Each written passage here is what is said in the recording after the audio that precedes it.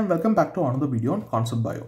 In this video I'm going to be looking at a question from Lehninger's uh, uh, chapter 3 question 11 and it is a question that always bothered me so I'm going to be helping out and I found many students found a, a problem in this question.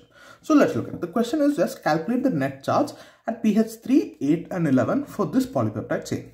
So uh, from my previous video you can check it out over here as a practice what I uh, told is start for this kind of equations always start by drawing out your terminal groups that's NS3 plus and uh, oh I'm sorry there is no space so I'm going to write it COOH alright so next look at which are the diprotic amino acids. What are the diprotic uh, which are the, uh, so what is it we are looking for? We are looking for the triprotic amino acids.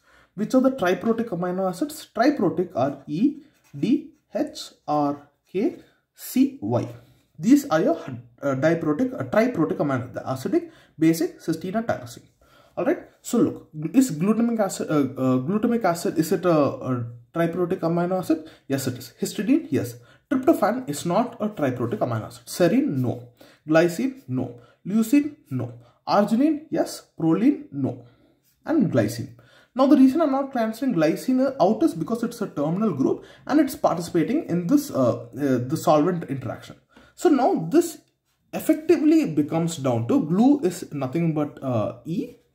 So I'm going to write it in short form. Histidine is H, uh, tryptophan, serine, glycine, arginine, arginine is R and glycine is G. And the COO, H terminal and NS3, the NS 3 plus. The reason why I'm cancelling it out is because if you look at a peptide bond, the uh, the alpha the carboxyl group and the amino group uh, condense out to form a peptide bond and they don't participate anymore in the uh, uh, protonation and deprotonation. More I've spoken about in my previous video, you can check it out over there. So now, first we made this structure. Now the next step is to know what kind of R groups each of them contain. If you look at glutamic acid, it has an OH or a COO the uh, carboxyl group as a terminal. Histidine has a nitrogen group NS3 plus. Uh, uh, arginine has a group that is again NS3 plus. Uh, sorry, plus will come here and uh, glycine, uh, it is not triprotic, but it's part of the thing that I'm keeping it here.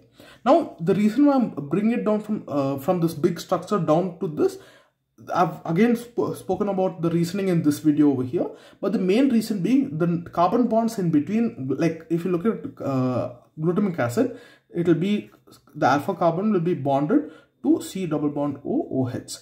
Now, this carbon bond doesn't participate in this protonation, deprotonation, so we don't have to care about it and directly just write what kind of functional group is present and we can continue our day like that. Alright, so now, so we know so much. Now another thing we have to know is pKa values for all of them.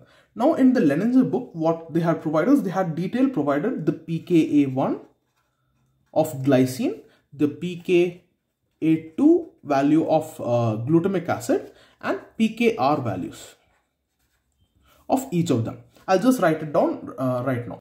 Yeah, so the values of pKa1 that they have provided was 2.34 pKa2 was given as 9.67. Uh, for glutamic acid, the pK value was given as 4.25. For uh, histidine, it was given as 6. And for arginine, it was given as uh, 12.45. I hope you can understand this is 12.45, this is 6 and this is uh, thing. Okay. So now what we have to do, we understood so much, right? So now, right on the left hand side, pH equals 3. Assuming this is pH equals 1. Alright. The reason why I made pH equals to 1, from my previous videos I had told, if pH is uh, less than pKa, protonation occurs. If pH is greater than pKa, deprotonation occurs. If pH is equal to pK, 50% protonation, 50% deprotonation. Remember this always, without which you can't for, uh, do all the sums. Alright. So now, pH is less than uh, all the pK values. That's why everything is protonated. Alright, now next. I increase my pH to pH equals 3. What will happen? E, I'll just draw the structure EHRG COO. I don't know if it will be protonated or deprotonated. NH2. Wait, I'll just do about that. NH. Wait one minute. Uh, oh, sorry, my bad.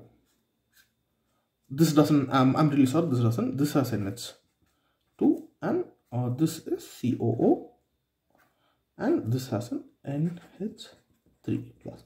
I'm going to change the color because this is taking up too much space, to be confusing. Alright. Okay, now let's look at it. At pH is equal to 3, is 3 greater than pKa1? Yes, it is. Therefore, deprotonation occurs COO minus. Is 3 greater than 12.45? No, it is not. Therefore, it still remains to be protonated and has 3 plus. Is 3 greater than 6? No, therefore still protonation occurs. NS3 plus. Is 3 greater than 4.25? No, therefore protonation occurs. Is 3 greater than uh, the uh, greater than 9.67? No, protonation occurs. Therefore, the net net charge over here will be nothing but minus 1 from the alpha carboxyl. 1, 2, 3, plus 1, plus 1, plus 1 from your three amino groups that is arginine, histidine uh, and here the terminal group. So the charge over here uh, would be uh, mine, uh, this will cancel this will be plus 2. So this is the uh, charge at pH equals to 3. So now continuing. If I increase my pH now all the way to 8. Alright, again draw all the structures E, H, R, G, COO. Already we know at 3 it's minus so we can might as well go about it. The NH3 group over here. NH, we just keep it as NH2, we'll wait. NH2, we'll just wait. COO, I don't know what it will be. And NH2, wait, we'll just wait.